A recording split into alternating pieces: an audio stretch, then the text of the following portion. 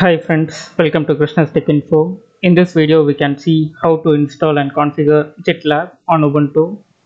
GitLab Community Edition is an open source application which is primarily used to host the Git repositories with additional development related features like issue tracking. It provides a flexibility in deploying an internal repository which you can store your repository store for your development team and it's also a public way to interface with the users or for the contributors to host their own project. Now we can see the installation of GitLab on Ubuntu. First we can install the dependency packages that are needed for installing GitLab. These are the packages that need to be installed. Now give us to download and install the package. Now the packages are downloaded.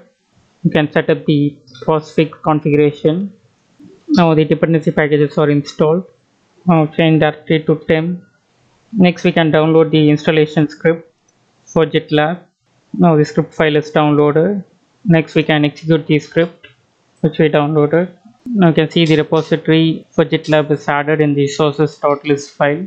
Now you can see the message the repository is set up. Now we can install the GitLab the command is apt-get install GitLab -ce now give enter the package size is high so it will take some time to download and install. Now the package is downloaded. Now it is installing.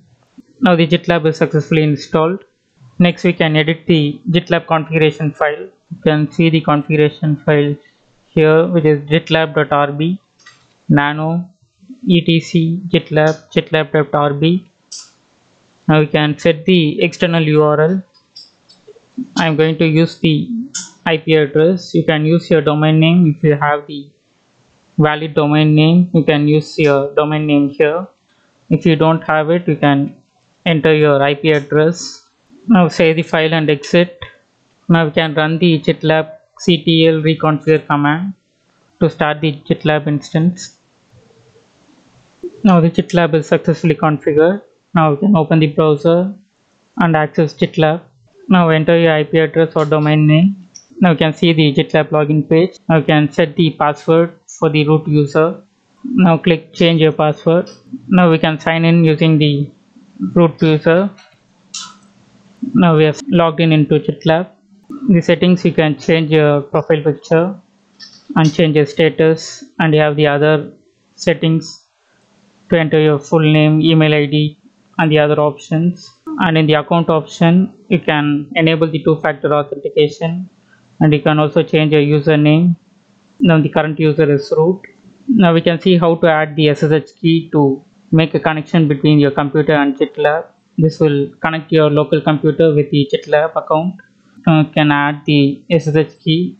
Now you can generate the SSH key using the SSH keygen option.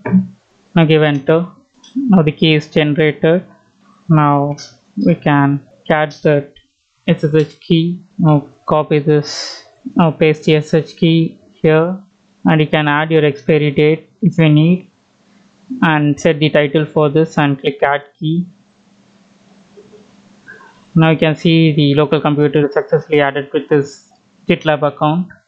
Now you will be able to manage your GitLab project and repositories from your local machine without having to provide your GitLab credentials in this video we saw how to install and configure GitLab on Ubuntu. Thanks for watching this video.